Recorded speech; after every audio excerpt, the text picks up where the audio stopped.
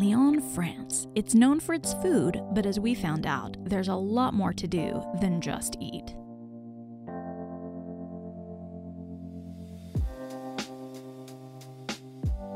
You're listening to Travel FOMO, a podcast for people self diagnosed with wanderlust. Hey guys, I'm Hilarie Houghton, and you are listening to Travel FOMO, and I'm here with my husband and fellow foodie, Jamin. I am Jamin. and today we are talking about a French city that might seem a little intimidating to some people.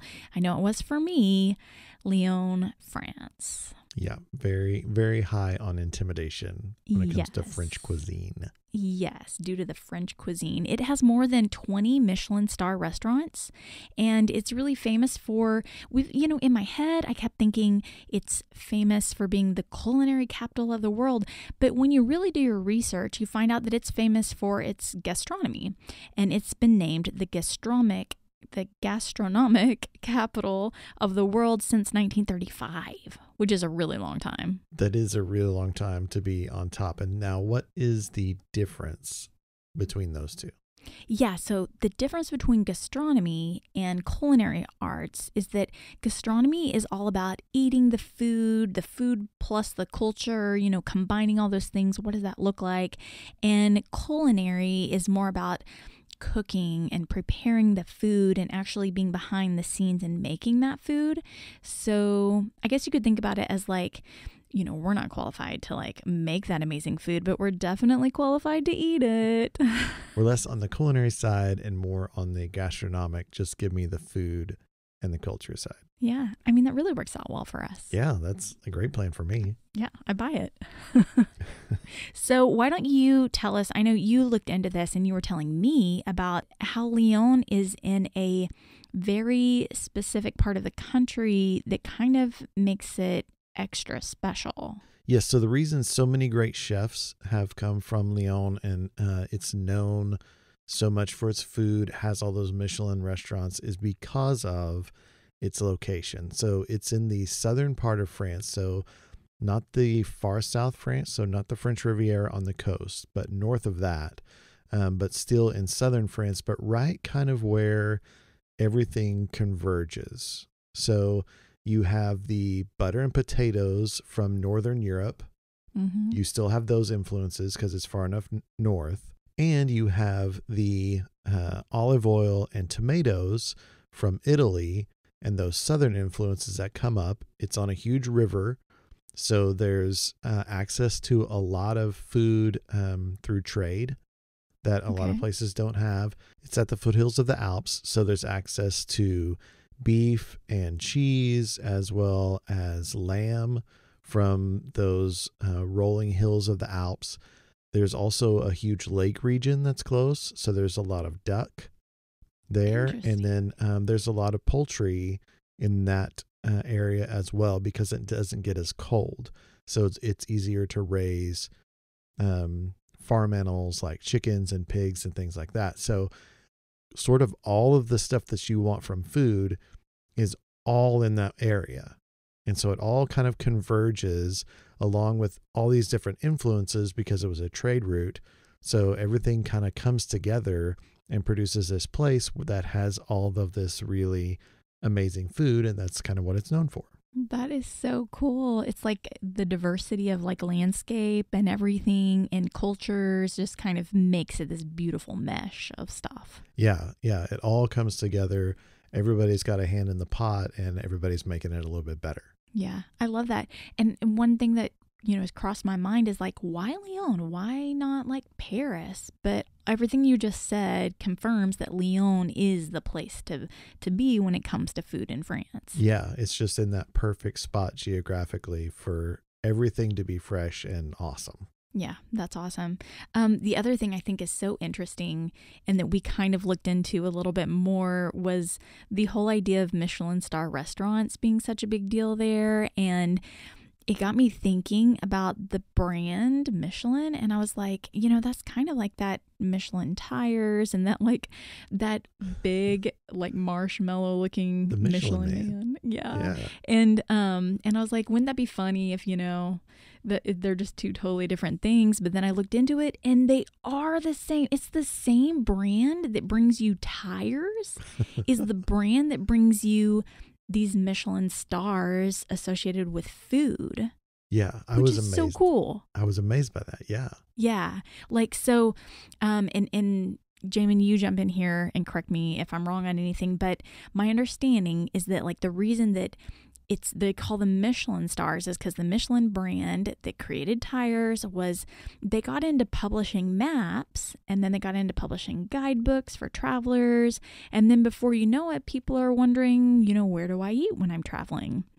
So then they would start rating all of these restaurants by stars in order to um you know help their customers out but then also at the same time it's basically keeping their brand relevant to people Mhm. who are traveling and it's encouraging people to travel and it's wearing out those tires and it's making people you drive in their cars more wear out their tires and get more tires and i just think it's fascinating because i've never put the two, two and two together like that Yeah, it was so cool to to kind of learn that and when you think about it, it makes a ton of sense. But I was just like you. I was like there's no way they're associated, but like what an amazing way to keep in contact with your customers at the Mhm. point where they don't need you. Like yeah they've bought their tires, they're good, but you offer them this service where they stay engaged with you and also wear out their tires and then need new tires. Yeah, I know. that is just so well done. And I just applaud Michelin for that idea alone. Yeah, and genius. if more brands would make themselves relevant and just be willing to think outside the box, like imagine what they would do and what they'd be known for. It's kinda Right. Well, I mean, you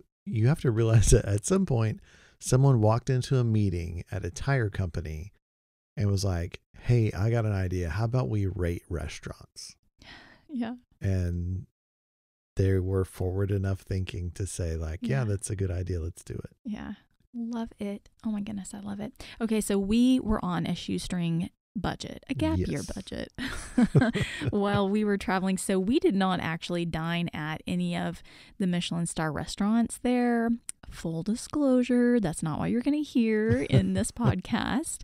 Um, but Jamin, you had some good tips for people that were coming to eat in Lyon and in France, but and just in light of how complicated those menus can be when you're reading something in French and it's just a whole nother level.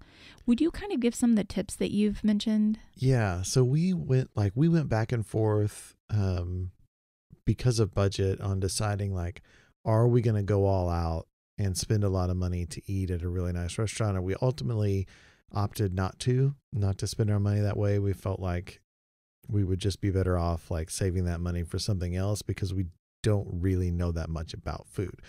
But um if you are going to go to Lyon for the food, um, you you probably already know some of this, but it might be a little bit helpful. It's pretty intimidating. Like the food scene in France, in particular, is pretty intimidating because there's not going to be um, English menus or things Mhm. like that, like you might see in other places in Europe. A lot of places have an English menu here or there, or maybe like maybe it's prominent, especially in touristy areas. So it's not hard to find an English menu in most of Europe, um, in the big cities. But in France, it is not that way. It's all in French. And it's a lot of food that even if you translate it, like let's say you get your phone out and you translate all the words, it doesn't make a lot of sense because if you're an American, it's a lot of stuff that you've never heard of. Right. And so I feel like when I go to a restaurant, I look at the ingredients of a dish and I can pretty well figure out I'm going to like that or not like that based on how it's prepared and what all's coming with it. In France, it's so much stuff that I just no clue, Right. no clue to where to even start. I mean, even just the different types of cheeses. Like, I'd be like, uh, I know a lot of cheeses because I like some cheese, but I'm at a loss. Yeah, and and just like endless amounts of man, I don't I don't know what any of this is. Mm-hmm. And so you either end up ordering something just random that you're just like, Yeah. I'll take that one and just like hoping for the best, or you end up with like a Caesar salad because you just don't know what else to do. A few things to keep in mind like really research the restaurant that you want to go to, make reservations well in advance Mhm. um, because they fill up fast. It's hard to get into the nice restaurants in Yeah. Lyon. Yeah, um, yeah, especially Lyon where people come for the food. Yeah, like a lot of people are there to eat at these amazing restaurants and so make sure that you're that you're booked up and research those menus so that you know before you go in like the wine that you want and the Mhm. appetizer you want and the main dish you want and you can just order it as as easily as possible because otherwise if you're like me you get in there you get super intimidated and you and you just like start taking the path of least resistance Mm. and you're like i guess i'll just order i'll just have the special Mm-hmm. Yeah. they're like whatever you just said i'll just have that rather than trying to like dive into it and Yeah. you often don't end up with the experience that you were looking for especially if you're going to spend a lot of money at a really nice restaurant Yeah, for sure. Great tips. Yeah. What did you What did you think was like the favorite place that you ate at whenever we were there in Lyon? um i really liked the food hall Mm. um because we had we had something really simple we had a, charcuterie board but um we went to um it was les halles de lyon paul bocuse Now, how do you say that? so paul bocuse was a famous chef from lyon um he's very well known um if you look him up there'll be a hundred like travel shows about going to his restaurant. Um, I know I I watched a couple with Anthony Bourdain where he's just psyched to be where Paul Bocuse cooked, and um, he did get really pumped about that, which tells you something. yeah, yeah, like it, uh, it's it's next level. But they have this this huge food hall that's a fresh food market as well as like uh, little kind of booths with different stuff where you can get stuff to eat.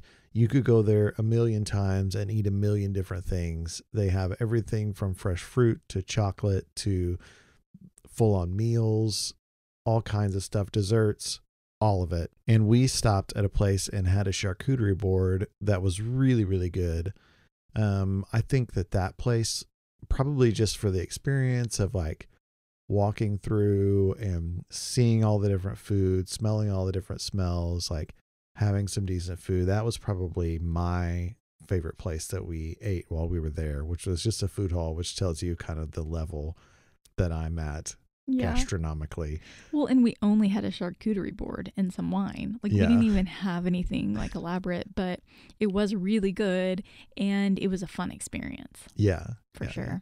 What was your favorite of the Mine of the was- food places? Yeah, mine was probably the same, but I will give a shout out to um, La Commune, which was Mhm. a community food hall, but it was more like a um, incubator, like Yes. a culinary incubator, you you could call it. Um, so there were little um, uh, culinary inventors coming up with creative new ways of cultural foods, and so um, you could kind of try a bunch of different foods from a bunch of different cultures. Yeah. The irony is that we walk in the door and we meet a girl from Dallas who went to school in Richardson, which is, we lived in Dallas, worked in Richardson. Um, it was such a small world and she was super friendly. And Mm-hmm. we just really, you know, it's nice to see like a friendly face, especially in France where you can't, we have trouble speaking that language more. So it's, harder to engage people and Yeah. um and you don't see as much maybe um people engaging you either because they're like oh yeah you don't speak this so right. yeah. but um but oh my gosh i will never forget being there and you had like a great salad i Mhm. had um some kind of mediterranean plate with a bunch of different hummuses and falafels and stuff like that but I went up to this like wall. They had like this wall that you could like basically order, kind of use a machine to order your own beer and pour your own beer. Right. I'm thinking this is fun.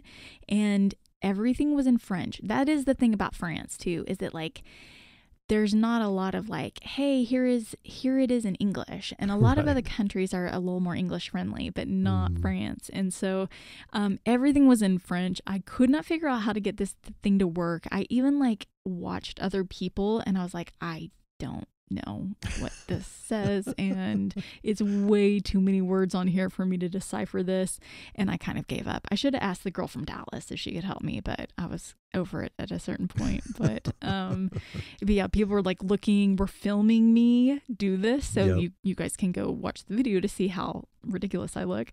But I just went on and on trying to get this beer because I was really dedicated because, you know, it was beer. So I was like pretty committed to it.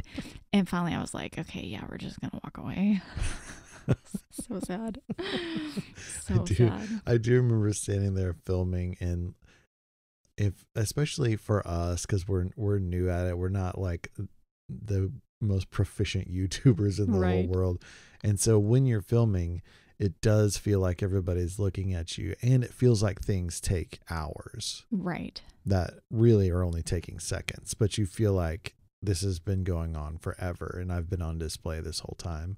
And we're like filming you and it was funny for a while and then I kind of started feeling a little bit bad for you because it just like wasn't working. While your own face was getting really red. We were both like, oh, just cringing. oh my gosh. And then we went to another restaurant um, at another point called La Cuisine, and it was okay. It wasn't anything to really write home about, but we were like on a mission. They like try Lyon foods and stuff. Um, but we had some really interesting stuff there. Like, um, I had the veal. hmm Um, you had, and I had creme brulee. Oh, the creme brulee actually was really good. I do Came out in like a, good. Yeah. a hot iron, um, a black iron skillet kind of thing. Yeah. and yeah, it was really, really good. It wasn't like outstanding. Do you remember what you had? You had like a cheese soup. I had like I had some roasted cheese. Um and yeah, I don't I don't honestly don't remember what else. It was one of those situations where I'll just order this Mm-hmm. and hope that I like it and it was just it was just okay. Yeah. The service was great and people Mhm. were really friendly. yes. Um so like the the place seemed awesome. We had some nice wine while we were in there yeah. but um yeah i just being so far off from being able to understand the menu w- Made it hard. yeah Yeah, which proves your didn't out. point. You got to do your research and make it count. And that was an instance where, you know, we really, we really didn't do that. We really didn't do our part. yeah yeah we didn't didn't look deeply enough into Yeah. into that Well, also, we kind of, it was recommended, it was one of the places recommended by our Airbnb host, Mhm.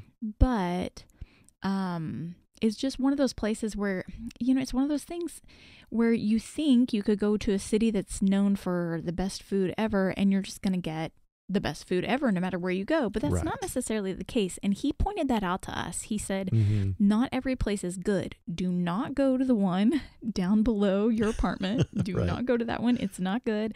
Um, and so he would kind of acknowledge that, like, just because you know people think Lyon has every restaurant is amazing here, that's not necessarily the case.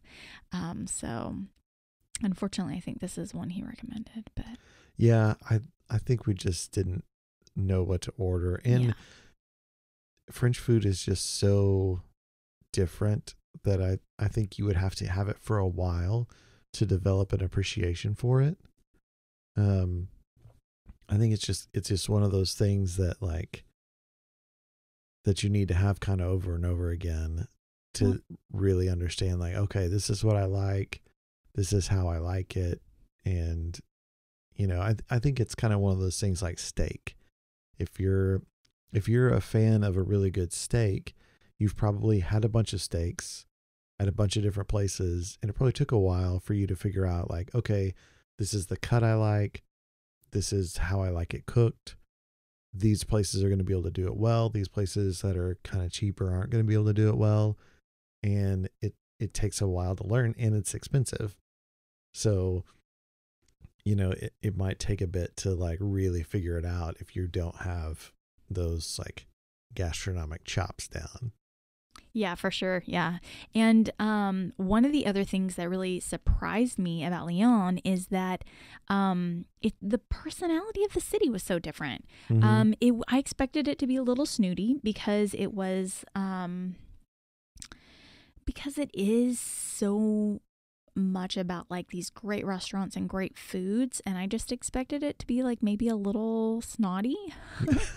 but it was really welcoming, really friendly. The people were so hospitable. I mean, Mhm. honest to goodness, this was the, it had the friendliest people that of in all of Europe, I would say that we went to in three months. The people were the friendliest, and they spoke French. They didn't even speak English, and they would find a way.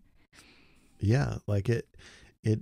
I would, I would agree. And we ran into a lot of really friendly people in a lot of places, but I do think that Lyon probably takes the cake. Yeah, for sure. Um, we went to several spots where we were just shopping and you were like looking for stuff in the store and I was just kind of standing around and like the clerk behind the counter would start a conversation with me and were really genuinely interested in us and what we are doing and wanted us to really like their city, wanted us to have a good time, made good recommendations, like super nice. Yeah.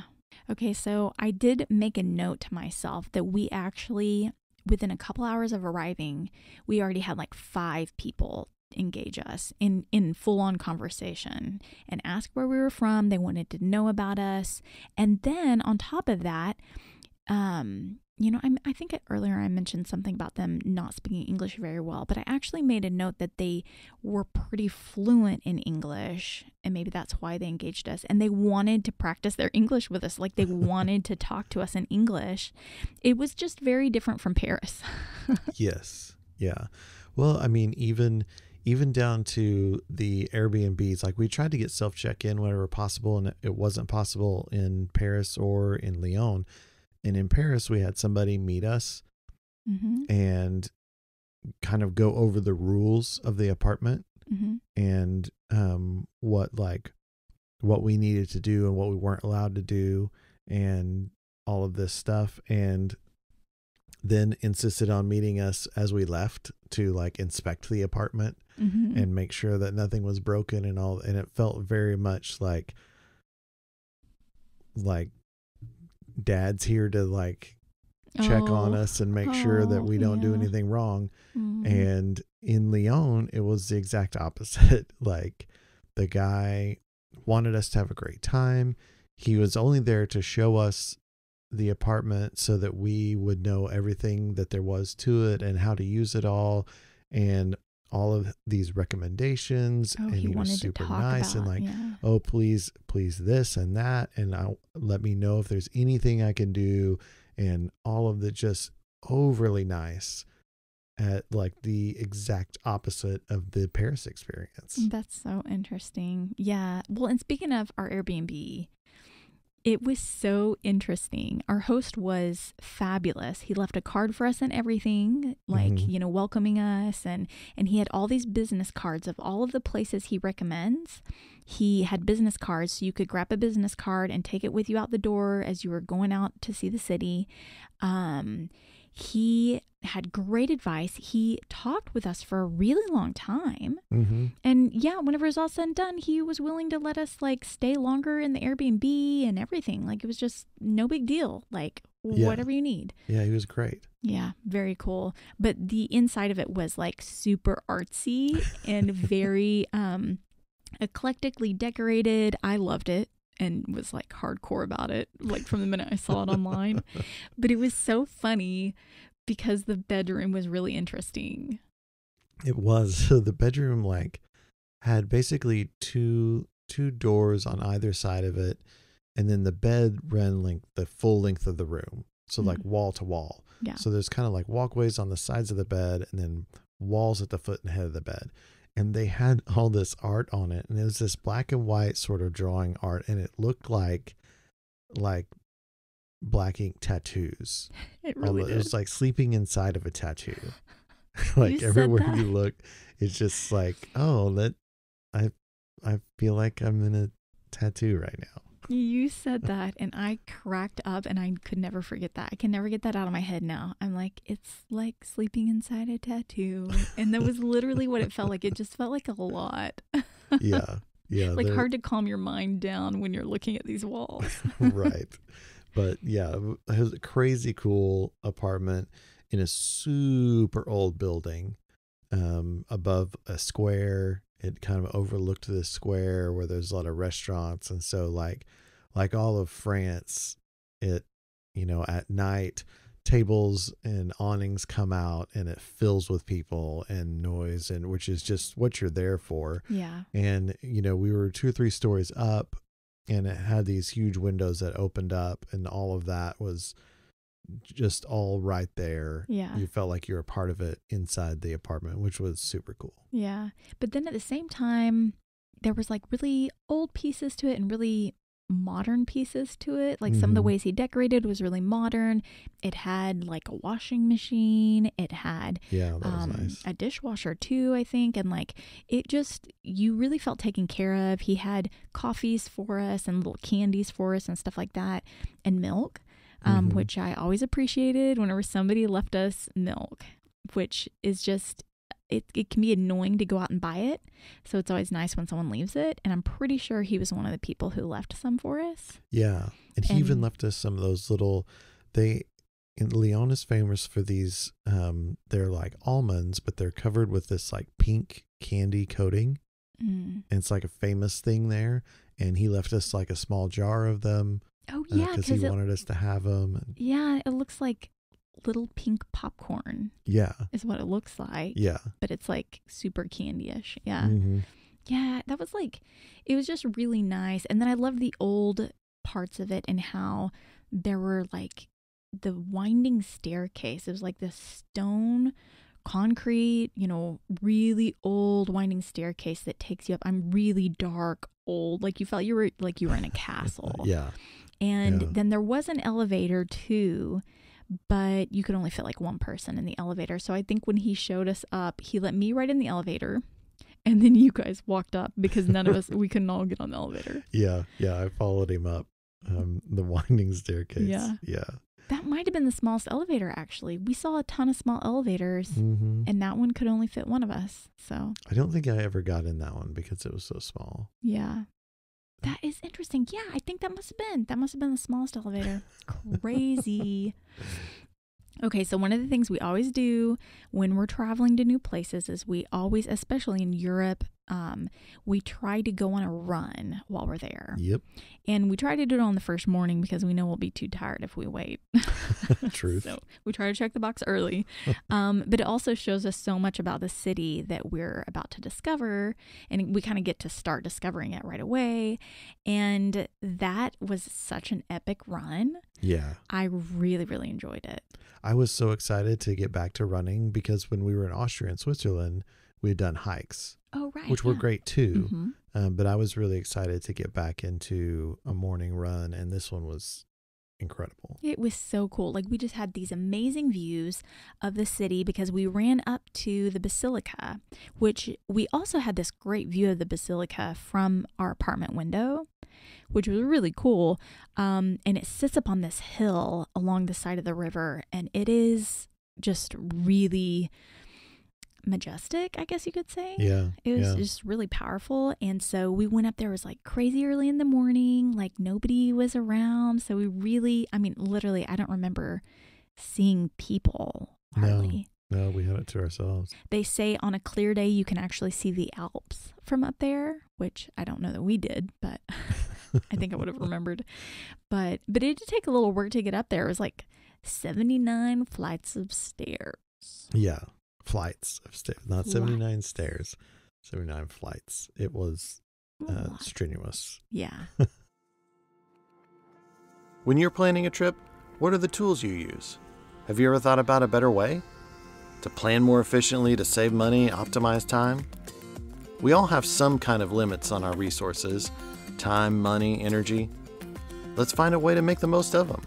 Let's find a way to help each other take the best possible memories with us when we head home from our journey. If your product does that, let's get together and share it here. Then we went along the river to some Roman theater ruins. So Mhm. If you imagine like some huge amphitheaters, there was actually two. And then later on, I even found out there's others in Lyon, at least in one other one. But we went um, to Ancient Theater of Fourvière. Um, we'll put it in the show notes. So you don't have to rely on my incredible um, pronunciation. they still use those amphitheaters today. And I think that's so cool because while we were there, they were like literally setting up for a concert. yeah. It's crazy. I yeah, it made me really want to go to a show there. I mean, to see uh, anything, a, a concert, a play, or whatever Yeah. In one of those old Roman theaters would be incredible. Like people Yeah. have been gathering there for that kind of stuff for so long. That would that would just be so cool. Yeah. Well, we actually found out later that the city dates back to 43 BC. So before Christ, 43 years before Christ, this city was had been founded. Yeah. So that's pretty incredible and it does tell you like the history there. There was just just the fact that there were Roman ruins everywhere was really crazy. But um but there was another good running option and that was a park. What's the name of that park? Um, it was Parc de la Tête d'Or. Um, Thank you for that. and um, it's a huge city park. Um, we didn't even really know about it um, until our Airbnb host told us about it, and a couple other like random people that we met told us about it. Mhm. And so we went to check it out in the afternoon. Incredible. Yeah. Oh my goodness. I was shocked because I was like, okay, it's just going to be another park, which is going to be great, but it was like a hike for us. Like it wasn't close. Yeah, it was a ways away.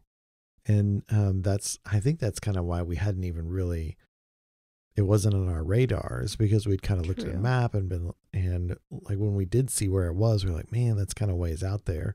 But another gift from our um, Airbnb host, he Mhm. left us two uh, one way tickets for the metro system. Oh, yeah. And uh, so we took it out there to the park and walked around um, botanical gardens, a massive park, just huge park, Yeah. a huge uh, rose garden, hmm um, a lake. There's a zoo Yeah. in the park, a free zoo, and like legit zoo. Um, Mhm. We're not talking about like one enclosure with like a flamingo in it. We're talking about like crocodiles and giraffes and zebras and deer and all kinds of stuff just out there in this park. And of Mhm. course, it's a park in Europe, so it's full of people Yeah. just hanging out and having a good time. Um, it was so cool. Definitely, if you're in yeah. Lyon, go check it out. Yeah, that was like one of the coolest things I I remember thinking like the fact that they make this available to people Mm-hmm.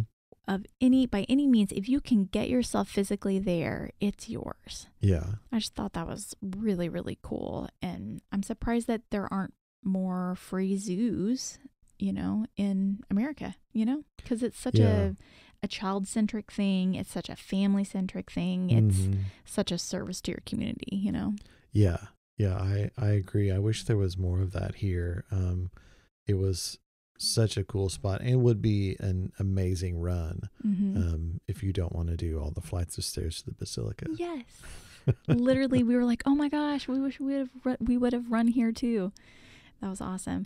Um, but of course, a trip to Lyon or to any city is really not complete without a walking tour. And we've really been finding this out for sure. As we look Yeah. back over all these different places we've been, the places that we seem to be really attached to and really love are the ones that we took a tour in. yeah, yeah, And there's a lot of other places where we're like, well, we didn't really, oh, like that was, it was okay. We didn't learn about that city in the same way because we didn't go on a tour. Right. So um, here, though, we got a great tour guide. Um, he was this guy from the Netherlands, and um, and he really made it worth it. Um, and so, I mean, oh gosh, where do we even begin? There's so much that we Yeah. learned it was incredible. But the thing that really blew me away right off the bat is he tells you how old the city is. It dates back to 43 BC. Crazy. Um, and it's it still has its old city center. Mm-hmm. like a lot of the old city is still there. So that's a pretty big deal and it makes it different than a lot of other French cities. Um, so I just think that was pretty fascinating too. Yeah, the the fact that it's still intact and you can see it Mm-hmm. was really cool. And there is like newer um, parts of the city, uh, and we actually walked to some of them uh, on our walking tour. But the the old part of Lyon is still there, and is still the way it was Mhm. hundreds of years ago. So yeah, it's it's really unique in that way and really cool that way. Yeah. And then one of the things that made it such a successful city was there is an aqueduct or there there was. I actually don't know if that's still something that they use, but um it was 85 kilometers long, I believe. It Mhm. started 30 minutes outside of the city and it would bring water into the city and all the way up the hill to where the basilica was Yeah, which was like a huge feat and a big deal and and having water you know it was it's a city on a river but ha- it might actually be on two rivers actually now that i think about it but it's a city on water um, and then they're bringing this water up the hill. They just made really good use of water right off the bat and it made the city thrive. And um, i think this might have been one of the places where we either learned or the guide reiterated to us that you know there's this cathedral there and that cathedral and this is just such a this was a new thing for me you know when we went on this trip is that cathedrals there's only one cathedral in every city and it is Mhm. the most important church so you might see a lot of different churches a lot of different chapels but you're only going to see one cathedral in every city um, so i just thought that's like pretty pretty fascinating and the church plays such a big role in france's in Lyon's history Yes, it was. Uh, it was kind of the first church in France, uh, the the remains of the first church are still there, and you can actually still see the baptistry, um, because the the baptistry was built outside the church because you had to uh, be a Christian to go into the church, and so many people were converting that they had a baptistry outside so that you could become a Christian, be baptized, and then Oh, you were allowed to enter the church. i um, don't think that i caught that or i forgot that if i did Yeah, that's why the they had that baptistry outside. That's also why in Florence they built St. Michael's Baptistry separate from the Duomo, like is because they would have people baptized there so that then they could go into the church. Wow, that's really cool.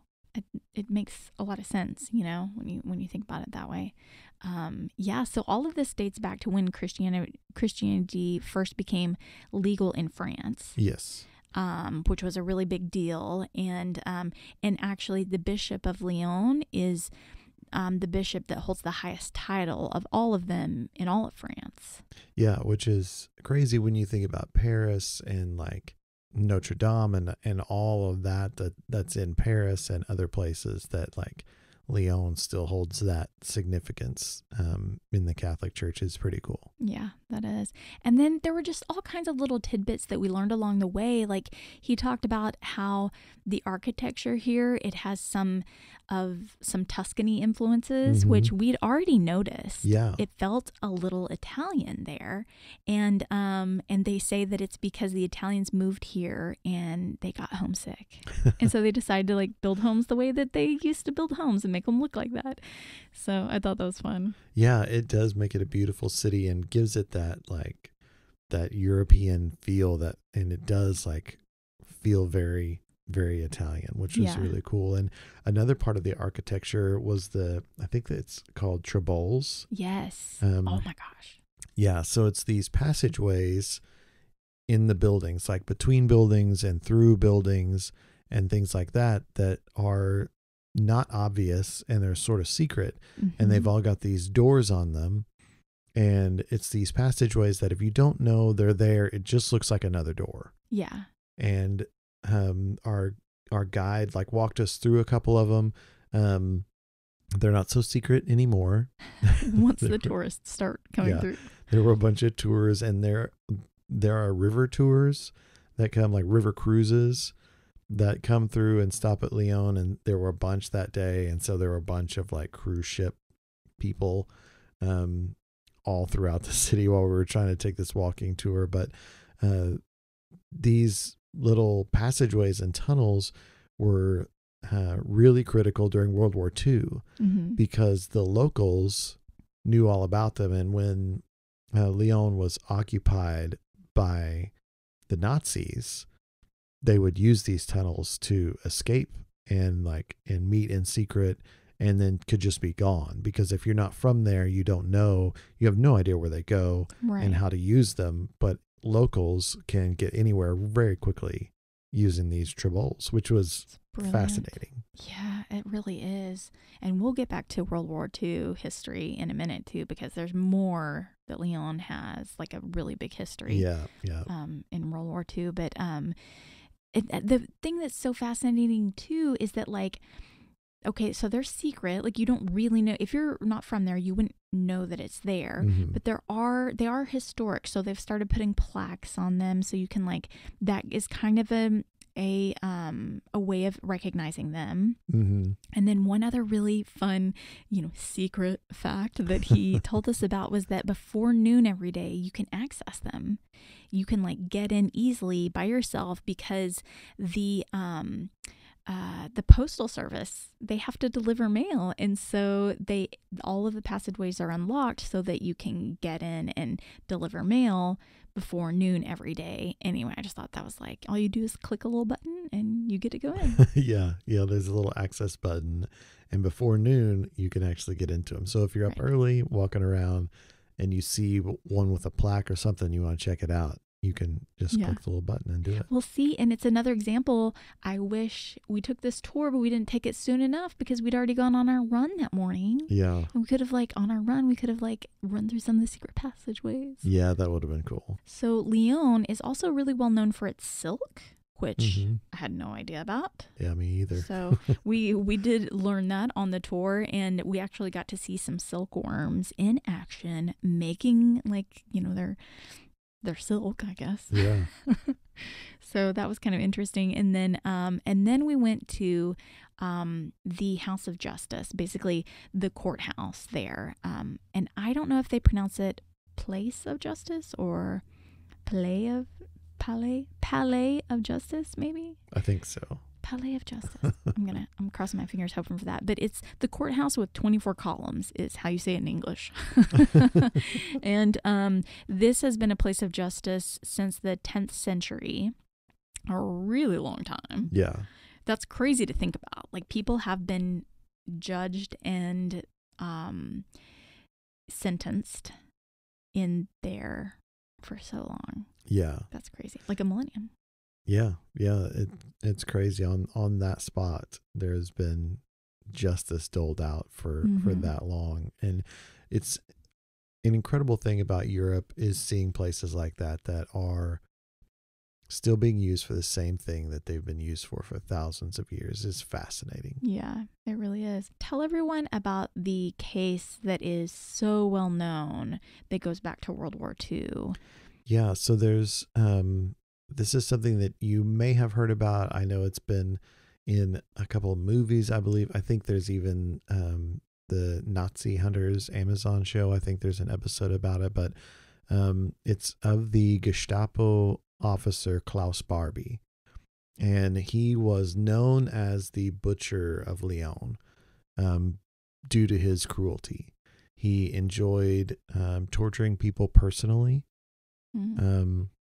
Especially Jews. Um, there was a at one point like 44 orphan Jews that he sent off, and they were never heard from again. Um, and at the at the just a a really horrible person, and committed all these tri- all these crimes.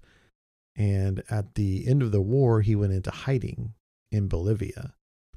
Uh, was eventually caught, and then Years um, later, right? Like a long time later. Yeah, I, th- I think it was in, like in the seventies Crazy. when he finally was caught and taken back to Lyon uh, to face trial, and he was given the ma- the maximum sentence of life in prison, and um, And I read too that he had like 341 charges against him.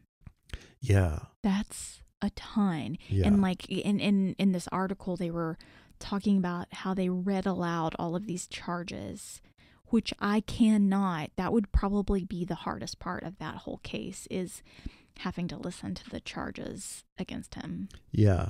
It's such a such a reminder of of what happened in that part of the world. Yeah. And as Americans, we're so far removed from World War II. Mm-hmm. Like, we obviously get taught about it in history, and a lot of us have family that served.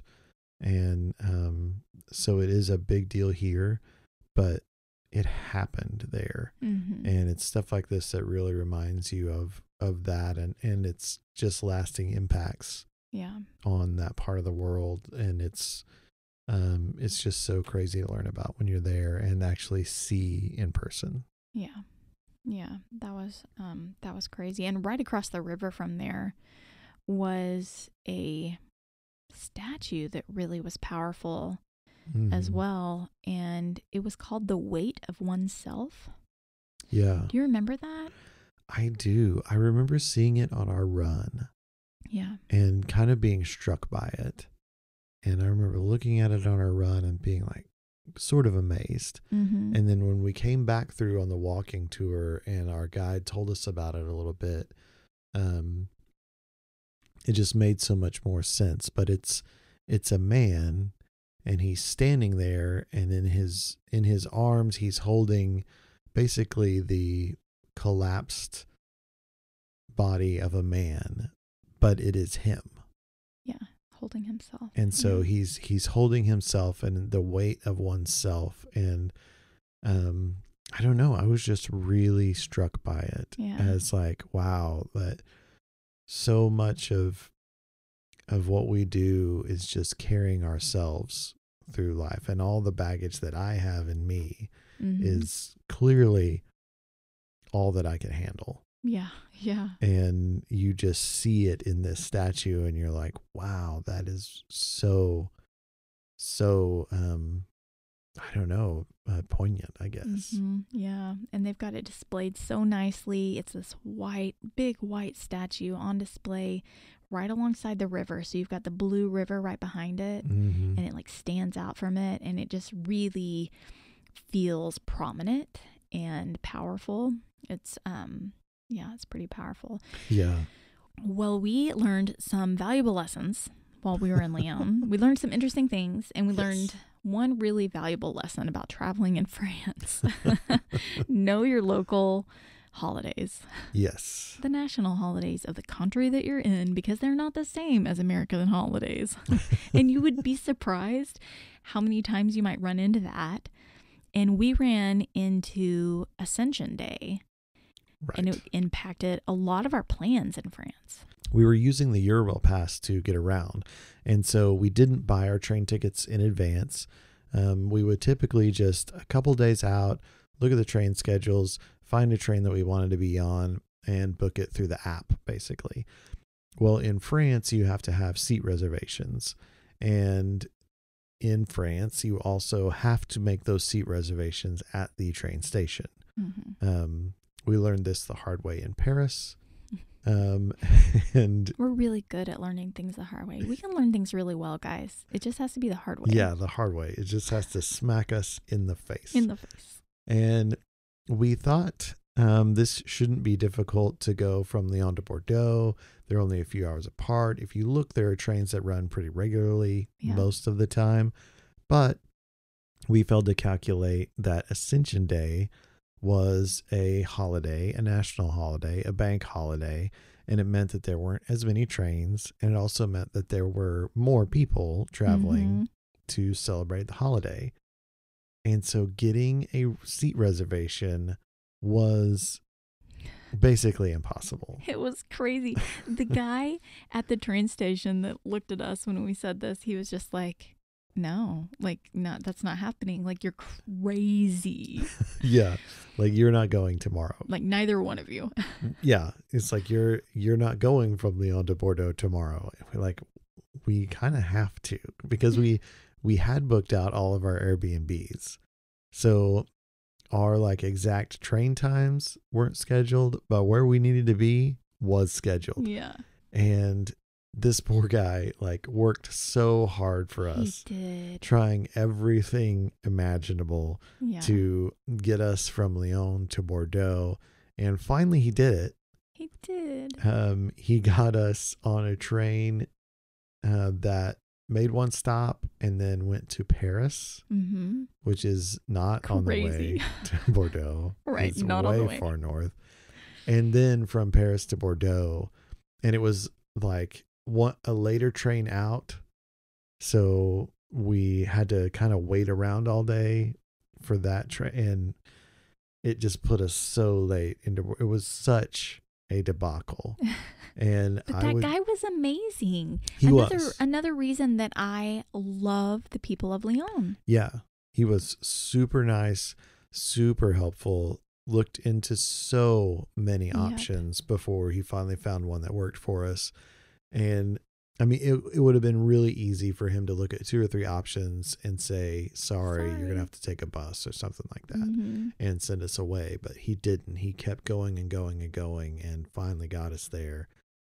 And we were just not ready for a holiday. And I, I would say look into the places you're going and just the dates that you're going and see if there's any holidays. Yeah. Because yeah.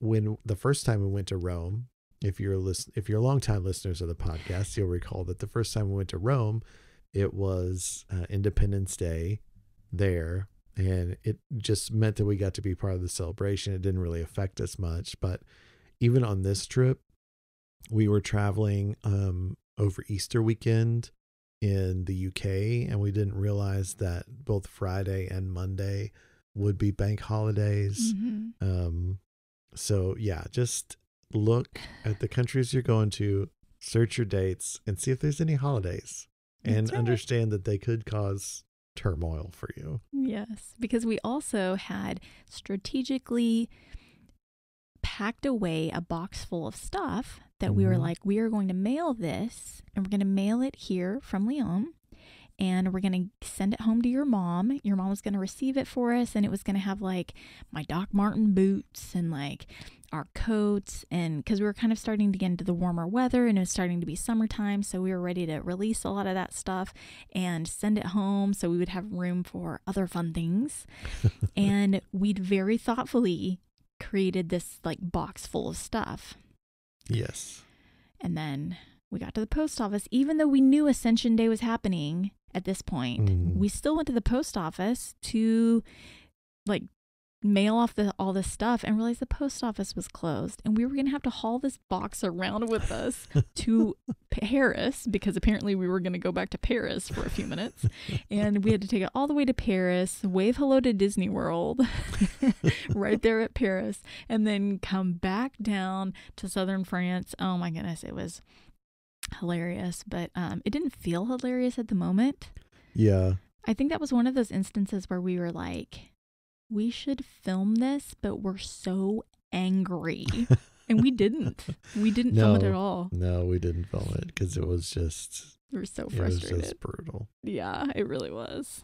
But we eventually did make it to Bordeaux, which was an amazing place. It was fabulous, and we are going to tell you guys all about it in the next episode. Mhm. So stay tuned for that. Bordeaux is wine country. Oh my goodness, it was way more magical than I thought it was going to be.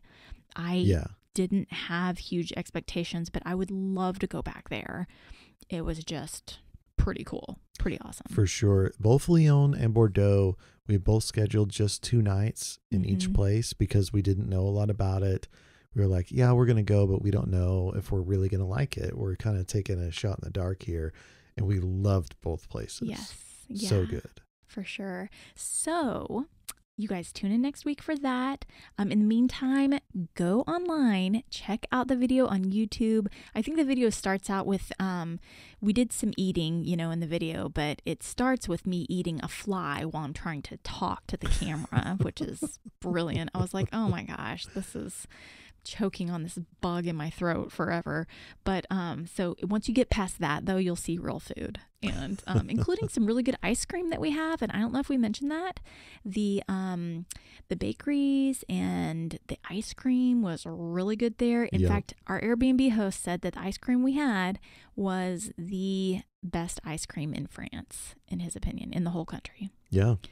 And it was pretty ridiculously awesome. So Yeah, it, it was pretty great, and we got some footage of it uh, in the YouTube video. Yes, you were like yeah. yours. It got you on a like a a kick where you tried that same flavor like a Yes. hundred times trying to replicate it. Yeah, amaretto cherry. And then I realized I was like, I really like this. And I was like, oh, I think this is a flavor that my grandpa Joe really liked. My grandpa Joe and my grandma Doris, um, on, on the fight side, I'm pretty sure that they really liked it. And I'm like, ah, and so do I. That's so crazy. But um, made me a little sentimental.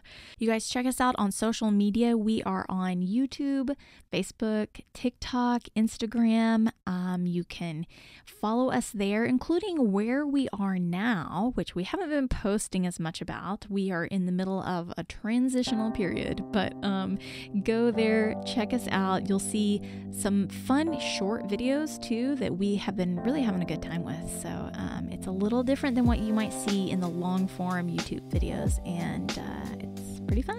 Okay, guys, we are going to let you go because life is short. Wonder well.